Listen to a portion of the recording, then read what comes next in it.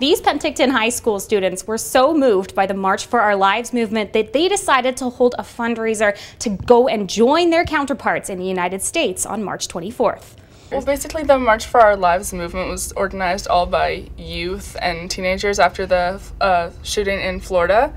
The youth, like in schools, are now just feeling not safe at their high school, which is not okay. Fear has no place in schools. Schools are for learning and making friends. So next weekend on Friday, we'll be leaving Penticton and heading over to Spokane to stand in solidarity with the students in the States. In cities all over the United States, students will be marching against gun violence and in favor of gun legislation. Roughly 15 teenagers from Penticton are headed to Spokane, Washington to join them. When we set up the GoFundMe, I really wasn't expecting to get barely anything. Yeah. And we ended up raising about $400 on the GoFundMe page and about 500 in person and we also have had a donor in Spokane cover the cost of our hotel rooms which is yeah. crazy. It's going to be a really cool experience to be part of a march and something that is going to be a big thing in history. I'm just excited to go down and make sure that their voices are being heard but also saying that I'm there with you guys and I'm there to be there with you and representing Canada and the Okanagan, so which is really, really exciting. Like every voice matters, no matter if it's from the country or not. So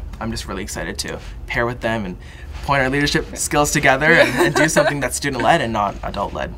So far, they've raised almost $1,000 towards the trip, with a week and a half to go. For Castanet News in Penticton, I'm Chelsea Powrie. Castanet has a large selection of columnists for you to enjoy. Click the opinion button in the yellow masthead to find them all.